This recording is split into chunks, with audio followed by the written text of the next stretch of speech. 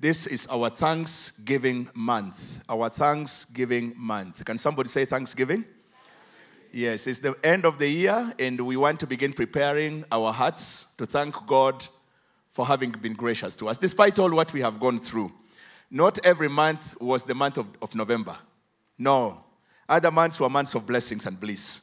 Other months were months when God ministered to us and blessed us. And therefore, we want to take this opportunity to begin thanking God for what He's done for us. And our scripture reference is uh, Psalms 95, verse 1 to verse 2, that we'll be running with in this month, that says, Oh, come, let us sing unto the Lord. Let us shout joyfully to the rock of our salvation. Let us come before Him with thanksgiving. And therefore, I'm calling my sermon, I'm giving it a heading Come with Thanksgiving. For the next two weeks, I said this time, Pastor Joyce has preached enough, and uh, my elders here. I've been missing the pulpit. So for the next two weeks, I'll be preaching. Yeah? After the Thanksgiving Sunday, then we shall release you to go for Christmas. And we are calling our someone, Come with Thanksgiving. Pastor Joyce, we never agreed with you over this scripture, but that's my sermon, okay? She's the one who, who creates all these labels here, okay? And it says, Oh, come. Can somebody say, Oh, come? So we are coming, we are singing to the Lord, we are actually shouting joyfully. We are coming to the rock of our salvation. We are coming before Him with what? With thanksgiving. Now, this is the, the psalm I want us to look on as we shall be looking into the next few, for the next two or three weeks. It says this Psalms 100, verse 1 to verse 4. It's a psalm of thanksgiving. It says, Make a joyful noise unto the Lord, all the earth, just like it begins there. It says, Serve the Lord with gladness. Come into his presence with singing. Come into his presence again with singing. Know that the Lord is God. Very important. Know that the Lord is God. Then he says, It is he who made us, and we are his. We are his people and the sheep of his pasture. Enter his gates with thanksgiving and his courts with praise. Then he says, Give thanks to him, bless his name. That's all in Psalms 100. What a powerful psalm. We may be seated in his presence. Amen. Father, we thank you again for your word, and we are grateful that we can share it together. As I speak, may you give me unction, may you help me to share this word. Come with thanksgiving in Jesus' name. Amen and amen. Now, I'm calling this message Come with Thanksgiving. All right? And before we do anything, I want us to look at the definition, the definition of the word thanksgiving. And I've picked one which, according to one man who has written, uh, who is one of the Bible scholars, done a, a, very good, a very good dictionary called the Strong's Dictionary. According to Strong's definitions, the Hebrew word for thanksgiving is a word we call, I don't know whether I'm going to pronounce it properly. We call todo, tod, toda, tod. Help me here. Okay, toda. That's the meaning of the word thanksgiving, toda. Toda. And it means there are three things in thanksgiving.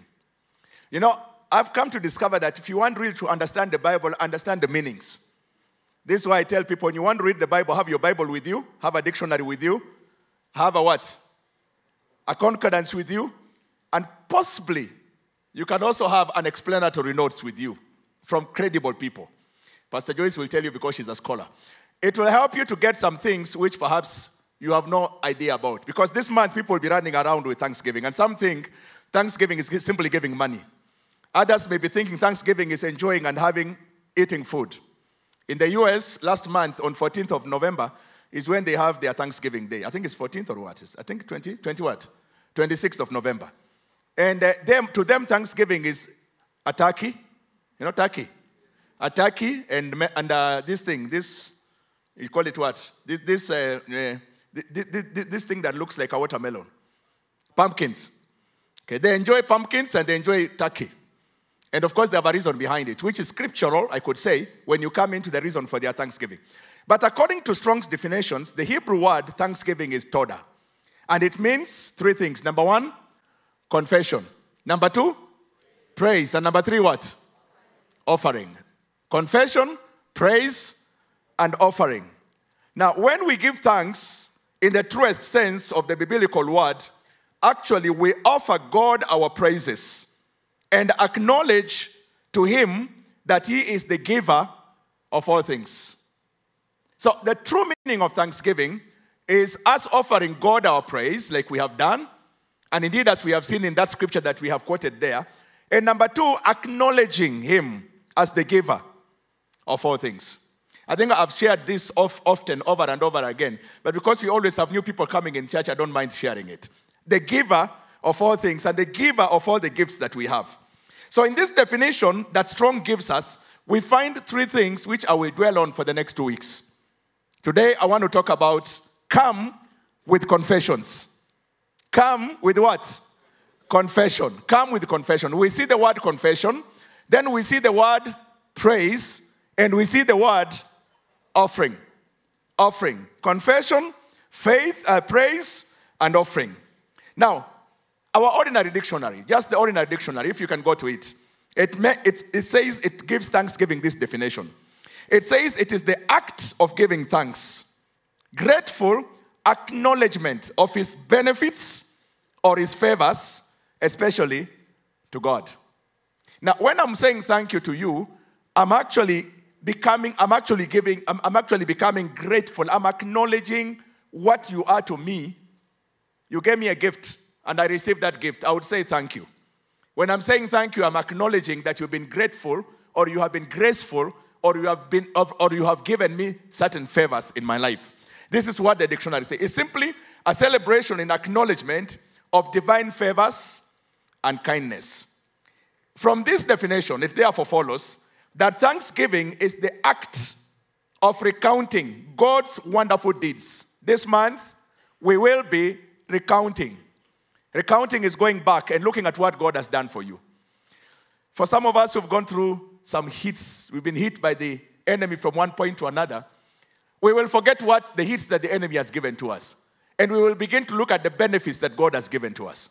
Because the Bible says, in all things, it doesn't say for all things. Thanksgiving are not given for all things, it's given in all things.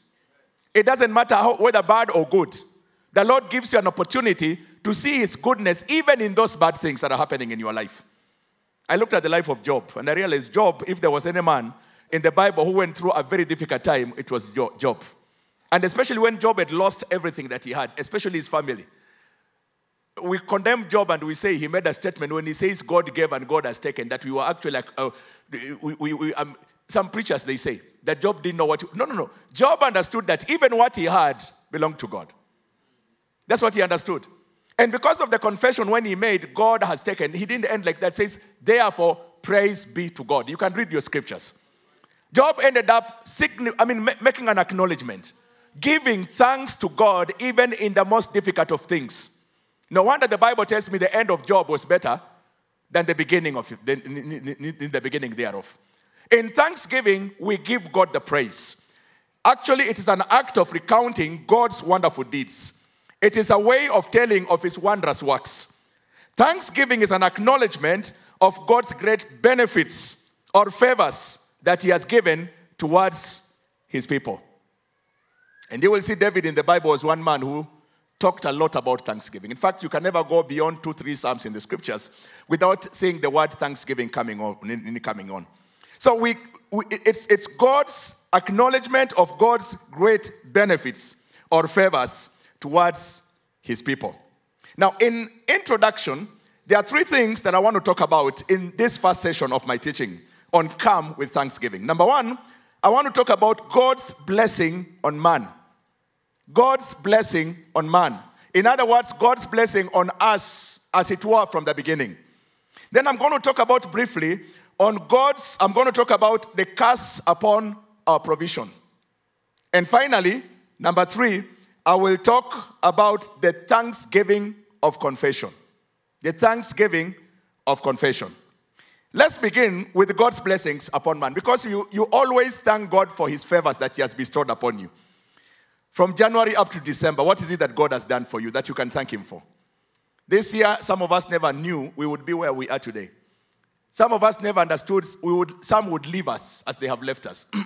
there are many of us who never understood God will give us husbands and give us wives. I don't know how many we, we wedded on this pulpit since the beginning of the year, including Shikuku yesterday. I missed that one. Shikuku. You know, Shikuku, many times it aborted, but it happened this time. All right? Now, we never knew God would bless us with children. We never knew God would give us jobs. Some of us never knew God would give us favors in our lives and in our families. Some of us never knew God would keep us alive until today. So when we go back and we recount, we see the blessings of God. But how does this come in? How did it begin? I will begin by telling you from the beginning, God never intended for man, you and myself, to live the kind of life that we are living. He never intended us to live a miserable life. And you will see when God created Adam, the first man on the face of the earth, the first thing that God did was to make provision for him. God made provision for Adam. And believe me, the will of God is to make provision for you. That's the will of God. God does not intend for you to live without provisions. Of course, we know the basic provisions is food, clothing, and shelter. Those were the first things God gave Adam in the Garden of Eden. Because when you go into the Bible, in the book of Genesis, chapter 2, verse 4 to 18, and I'm going to read very fast because I have, I have 20 minutes to capture this. Genesis chapter 2, verse 8 to 14, the Bible says, And the Lord planted a garden in Eden, in the east. The Lord planted a garden. He had already done everything and made everything. Men, were, uh, animals were there, everything was there already in existence. God has already created the heavens and the earth. The stars are there and everything. God deliberately planted a garden. He never said, Let there come a garden. God went down and did plant a garden. That's what the Bible says. He planted a garden in Eden. I'm sure we're reading together. Genesis chapter what? Chapter 2, verse, 14, verse 8 to verse, verse 8 to verse 14. Could you please flash it? Chapter 2, verse 8 to verse 14. Uh, media, I think that on, on, the, on, the, on, on, the, on the screen is better than my face. Please. Okay? Genesis chapter 2, verse 8 to verse 14. It says, The Lord God planted a garden eastwards in Eden, and there he put man whom he had formed. So you can see, God is now making provision for Adam. He has made Adam, and he cannot allow Adam to, to, to, to, exist without a provision.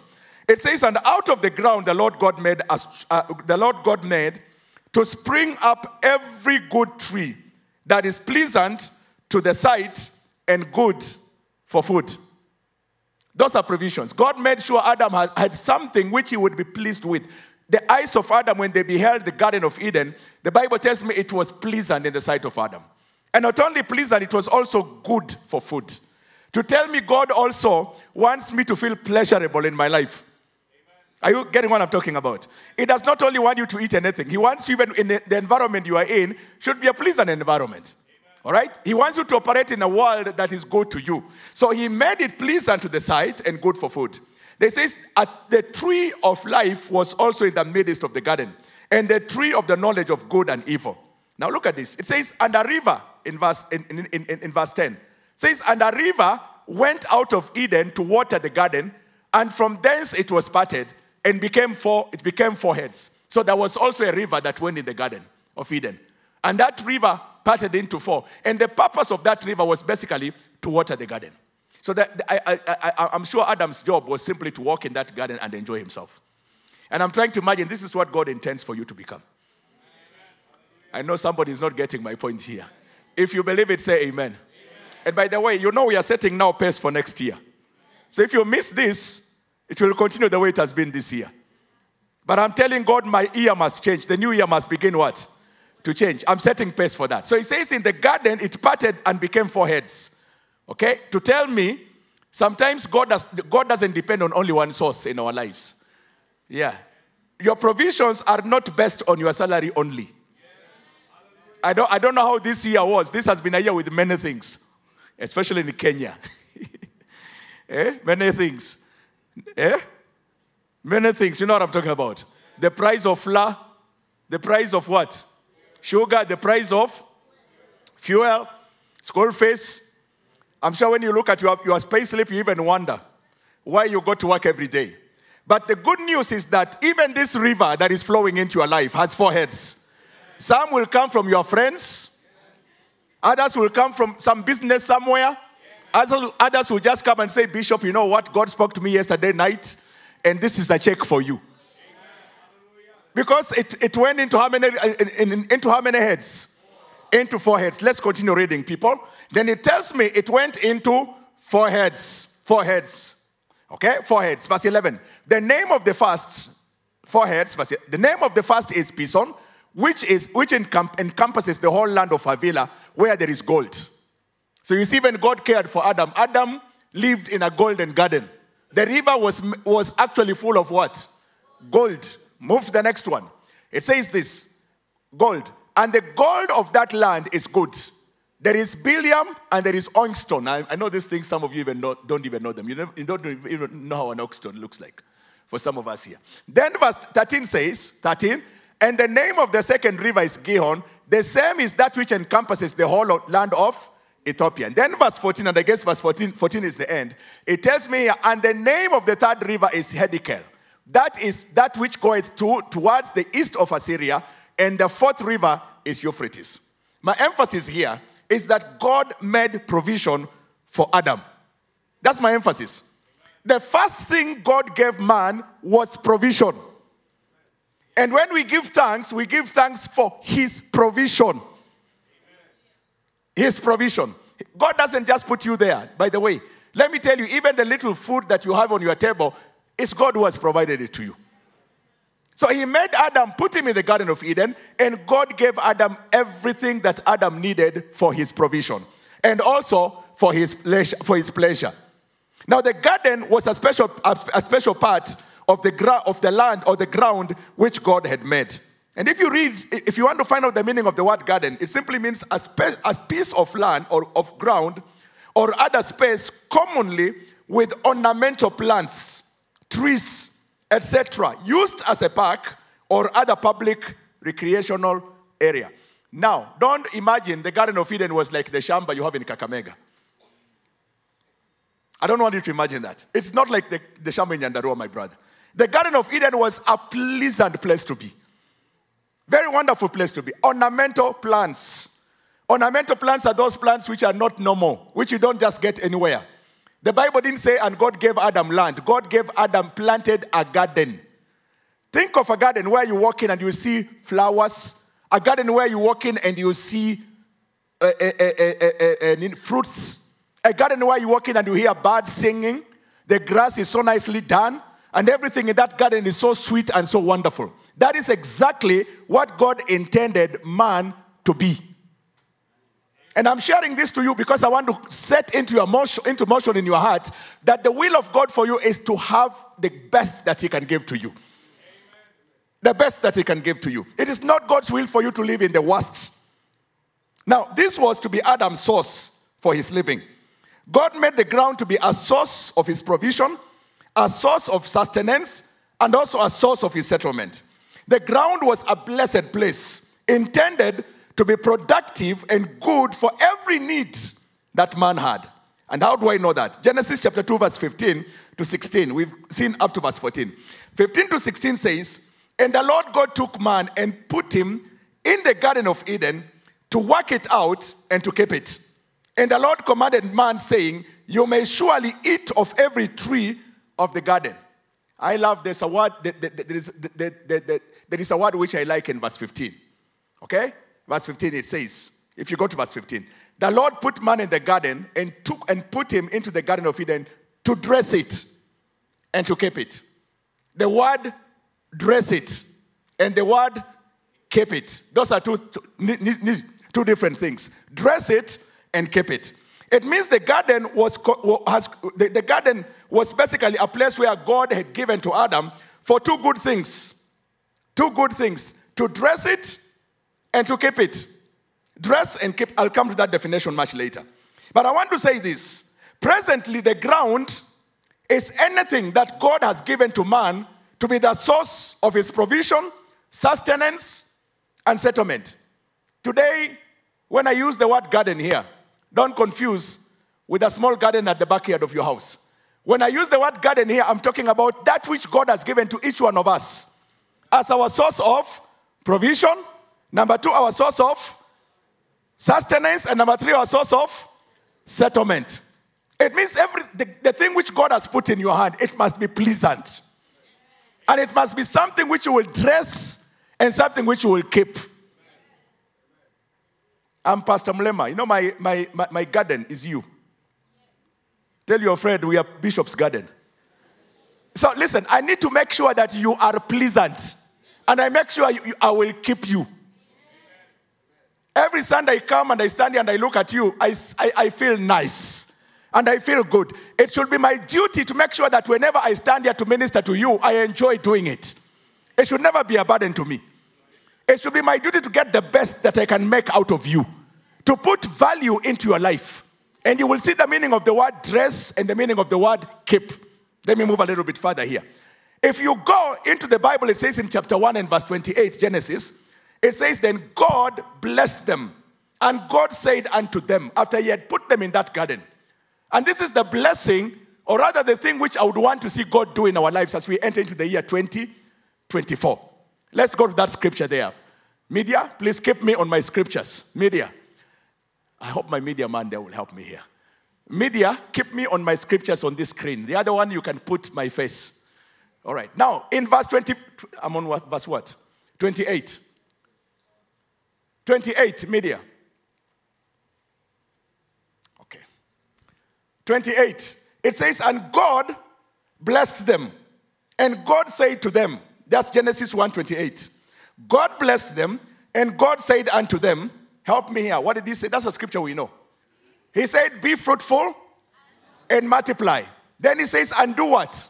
And replenish and subdue it and have dominion over the fish of the sea, over the fowl of the air, and over every living thing that moveth upon the earth. So the garden wasn't just enough. God commanded man, and God blessed man.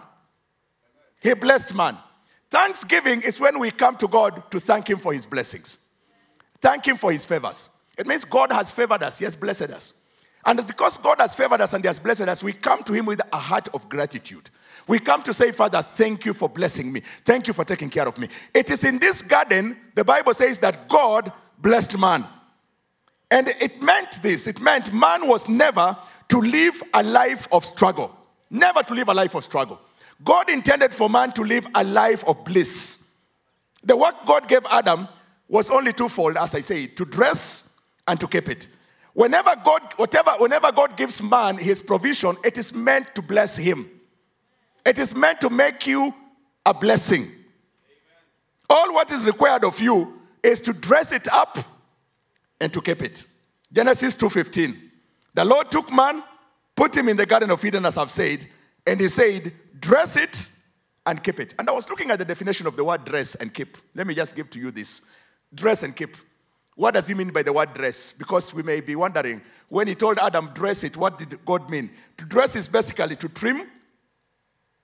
To trim. I think I put it in my definition. Media, if you could just go to it so that my people here can be able to see it. The word dress in my notes. It is simply to, to, to, to, it's simply to, to trim, to ornament, to adorn. It, is simply, it simply means to add value and make something better. You know, dressing is when I have a plant which is already grown, it has already grown. My job is simply to prune a little bit of it. Just, just make sure that it's I'm adding value.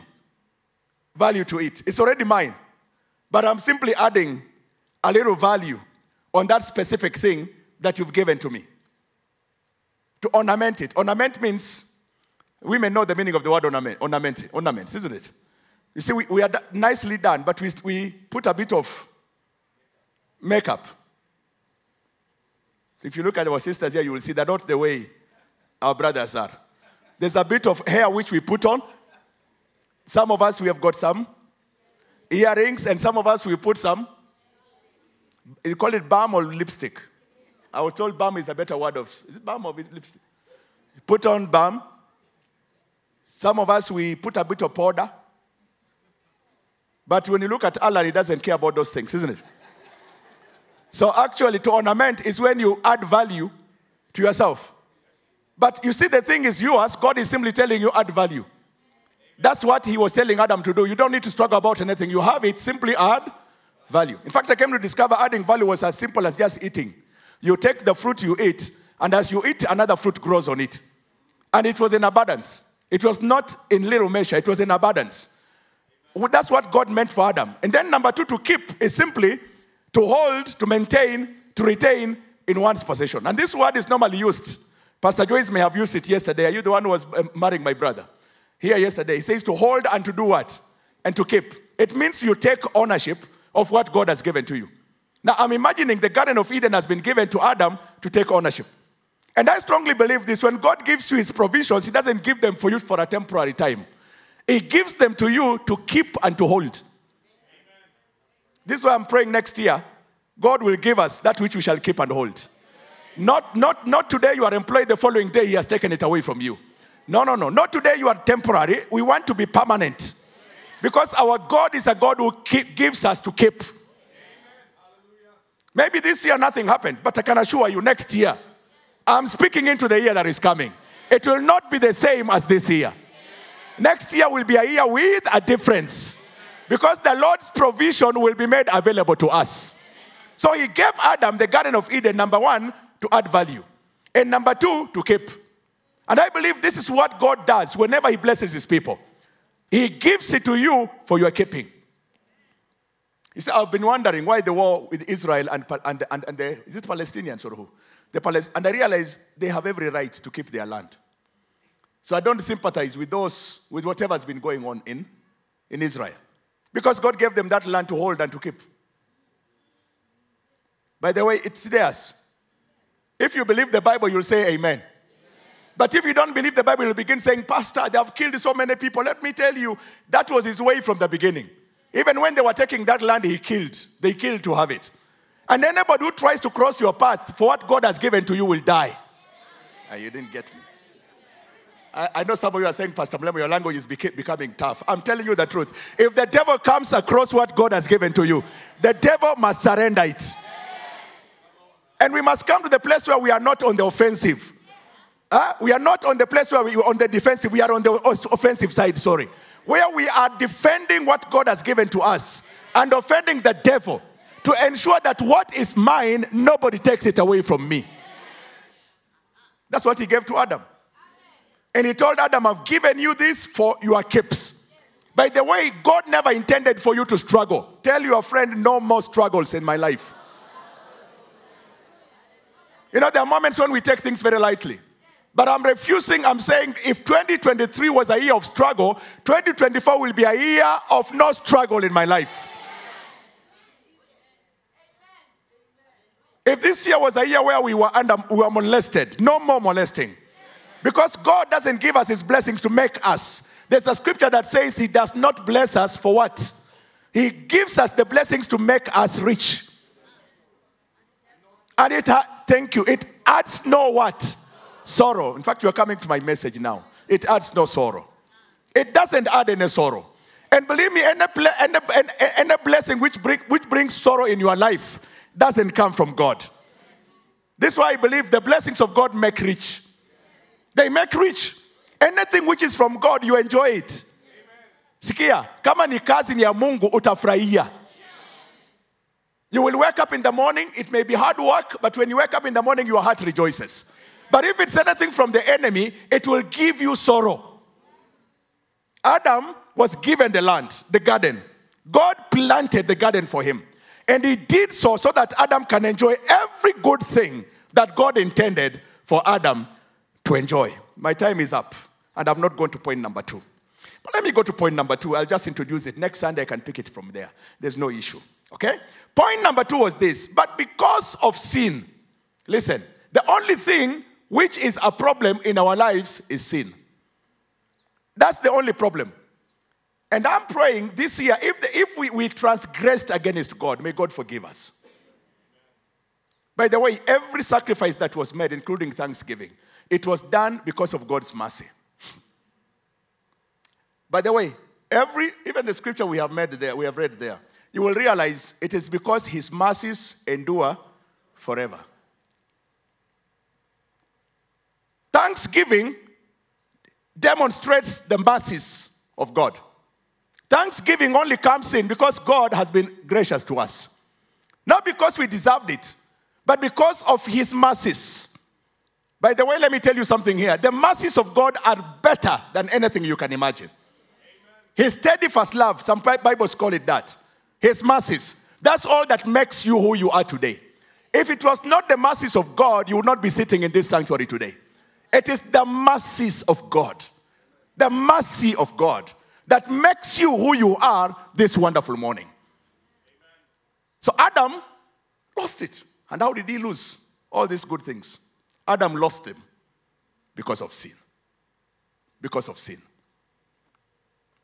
I won't go into the details. I've just said here, unfortunately, Adam sinned and lost his relationship with God. This brought about what we call as the curse that was afflicted upon man. The curse. Now, I'm going to make a, a very important point where I'm going to end. And I want you to get this point clear because I'll pick it up from there next Sunday. Because this is what I always used to think, and it wasn't true. Okay?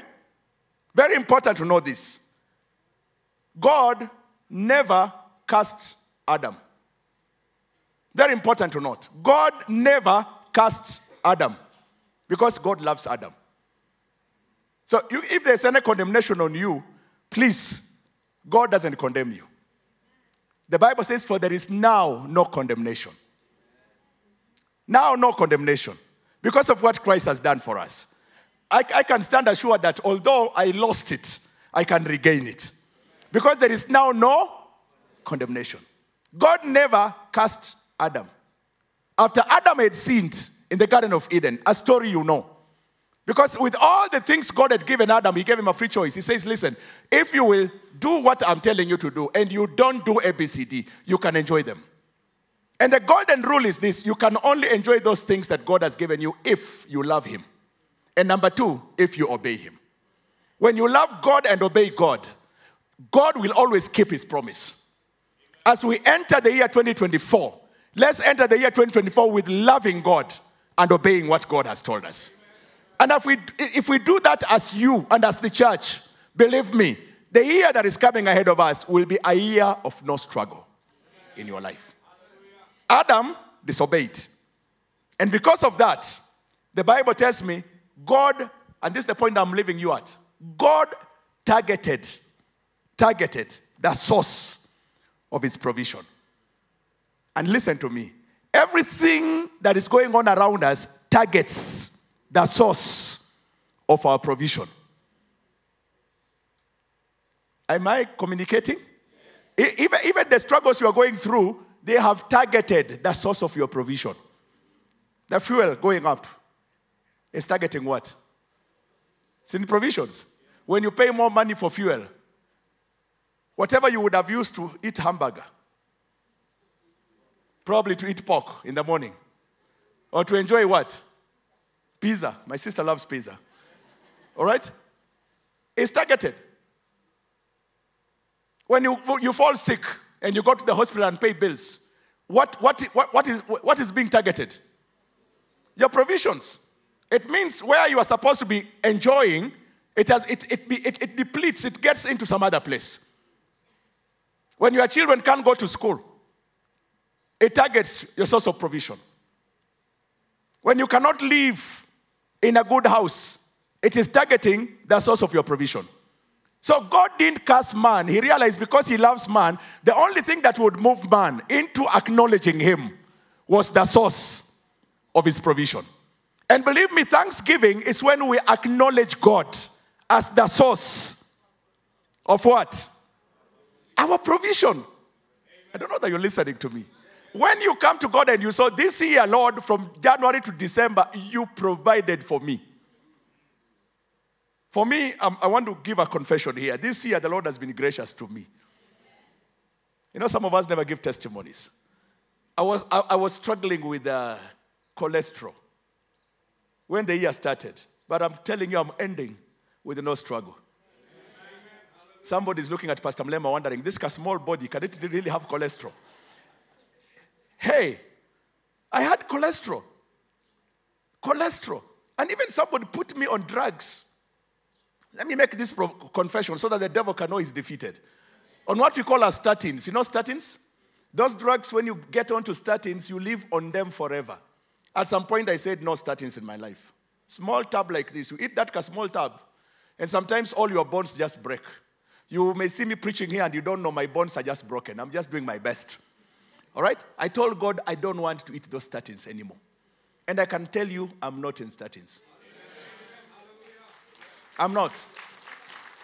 He is the source of my what? Provision. You know, God, God understands you and He knows you. Believe me, there are things in your life that nobody may know. But when you check and you audit yourself, you realize God has been gracious. You look at your life, you look at your family, you look at your job, you look at what God has given you, you look at the things that God has done in your life, and you realize it's only Him who can give you what you have. I wish I had more time, Pastor Joyce, but I'm going to end. But listen to me God never cast you, and you are not under curse. The only thing which, which, which, which would cause you to struggle is the source of your provision. Provision, if it's steady in your life, it sustains you. And once it sustains you, it settles you. It means now you can sit back and settle. And I'll show you in scripture men and women who violated God's obedience in their lives. People like this first man in the Bible, the first, the first murderer in the Bible. What was his name? Cain. The Lord targeted his provision. I'll show you in my next scriptures. Targeted his provision. He told Cain, Cain, how many of you can quote that scripture? Cain. He told Cain, now cast is the land. When you try to dig the land, the land will not do what? It will reject you. You know, there are people who the land has just rejected. Unaingia kwa ofisi hivi, boss anakuangalia anakutupa nje. You go for a job, you have all the papers. Somebody looks at your papers, somebody who has no paper arrives. And the person without papers is given the job. And you, you are not given anything. Have you ever seen that type of thing?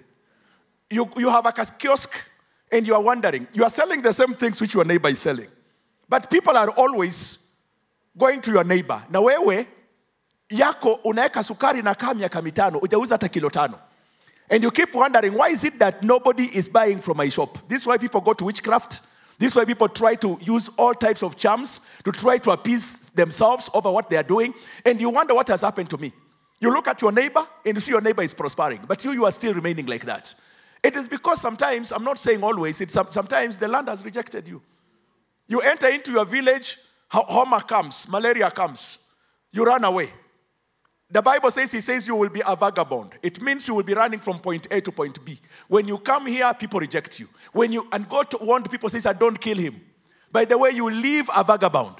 That is targeting the source of your provision. Can I read the scripture? Then I leave it. We have communion.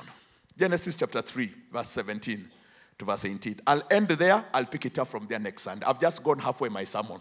I mean, half of what I wanted to share this morning. Genesis chapter 3, verse 17 to 8. I hope you're getting something. Okay, 17 to 18, to 19. It says this. And unto Adam he said, Can you read with me? What did he say? Because thou hast hearkened to the voice of thy wife, and hast eaten of the tree of which I commanded thee, saying, Thou shalt not eat of it. What did he do? Can you read with me?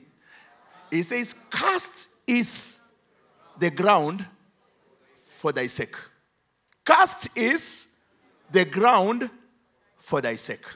Then he says, In sorrow thou shalt eat of it all the days of your life. Let's continue reading verse 18. Thorns and thistles shall it bring forth to thee, and thou shalt eat of the herb of the field. I think it's up to verse 19. Let's go to verse 19. 19. Help me here. What? In the sweat of thy face shalt thou eat bread, till thou return unto the ground, for out of it thou was taken, for dust thou art, and unto dust thou shalt return. Now, you see, this is the only curse that God gave in the Garden of Eden. He never said, Adam, you are cursed. No. God targeted the source of his provision. And I want to finish by saying this it is the source of our provision the source of our provision the source of our provision, and I repeat again, the source of your provision that is targeted. In thanksgiving, we tell God, You are the source of my provision. Adam failed the test of acknowledging God as the source of his provision. When God has done it, you never remember him. The year ends and is ending. We never acknowledge him as the one who has given us or who has been good to us. That's why the Bible says, Oh, come, let us sing to the Lord. Let us shout joyfully to the rock of our, uh, the rock of our salvation. Let us come before him with thanksgiving. And the scripture we read, the first scripture, if I could just repeat it one more time here. Make a joyful noise to the Lord, all the earth. Serve the Lord with gladness. Come unto his presence with singing. Know that the Lord, he is God. He is he who has made us, and we are his. That's thanksgiving. We are his. You don't belong to anybody. Believe me. You don't belong to any person in this world. You don't belong to your company. You don't belong to your husband. You don't belong to your wife. You don't belong to your, to, to, to, your, to your tribe. You don't belong to your church.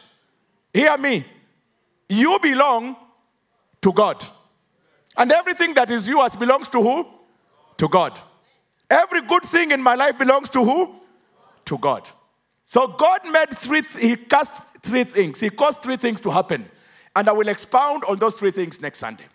Number one, that he, that he caused to happen quickly. Number one, the Bible tells me the first thing that God did, if you can read your, the Bible with me, he said, sweat, sweat, and sorrow. Sweat and sorrow. In sorrow and in sweat. That's the first thing. To me, that is struggle. I've never seen anybody waking up in the morning and just saying, Oh, wonderful. I'm going to work. Oh, why? Whoosh. Urabashanta. I think it only happens the first one week when you're employed, isn't it? When you are looking for a job for a very long time and then you've been employed, that first one week, you are very excited. Even those who work in the church, Pastor Joyce, the first one month or two months when you got when you got your place, you feel so nice and you feel like I just want to be there. But after two, three months, do you still behave like that? I'm just giving an example here. Now listen, the Bible talks about the curse of sweat and the curse of sorrow. We'll talk about it. And then number two, the curse of thorns and thistles. Thorns and thistles. They will say they will grow to thee, to Adam. Thorns and thistles. We'll look at that. And then number, number three, what I'm calling here, the curse of death.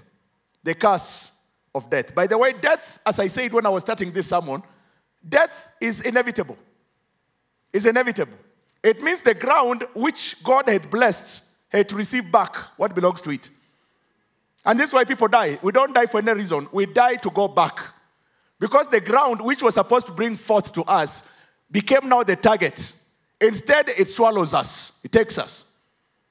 But glory be to God, 1 Corinthians chapter 15. Oh, death, where is your sting? Oh, grave, where is the, your victory? We'll see at what Christ has done for us. And because He's done it for us, we have victory over all those things. The Lord bless every one of us this morning. Thank you for listening to me. I close it at that point. Please stand up on your feet and let's make a prayer together. Hallelujah. Father, we are grateful for this morning, for the privilege and the opportunity of helping us to be in your presence. Thank you for this month of December, a month of thanksgiving. Lord, this is the month when we remember you and we thank you for what you've done for us, for good things and for whatever may have seemed bad in our eyes, because in your sight it is all good. When you made Adam and you put him in the Garden of Eden, you looked at all what you, have you had done and you said it was very good. I pray today that, Father, everything will be very good in the sight of your people. Thank you for blessing us. Thank you for keeping us. Thank you for being gracious to us. Thank you because each one of us can see the goodness of our God the love of our God. When we look back, we can see there is no loss, but we have gained. Lord, we have gained in our workplaces, in our businesses, in our communities, in our homes, in our families, Lord, in our church, and in this nation. Because in hard times, that's when God proves himself alive. Lord, we are thankful, even for our nation, our economy. We are thankful, Jesus, for giving us an environment where we can minister to you and we can preach the word of God. Thank you for your people that are present in this house. I pray that this month, as we read your word and as we look upon you, Lord, will be a month of great thanksgiving. And so bless your people. Bless your people. If there be anyone here, Lord, who has never known you as his dependent, may you this morning reveal yourself to him or her. Lord, if there is somebody who has never given his or his life to Jesus, still living under the yoke of sin in his life, may you change that man this month that this may become a month of a relationship with you. Because Jesus died for us and took away the curse that was upon us. So that, Lord, we can be redeemed from that which was cast upon our lives. That's why the Bible tells me a thorn of a thorn was put upon his head. The Bible tells me he sweated and the sweat came out as blood.